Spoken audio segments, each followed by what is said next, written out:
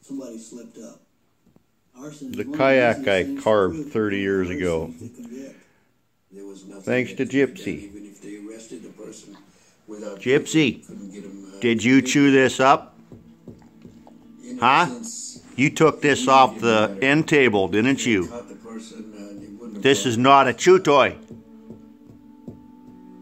Why did you chew it? You're in trouble.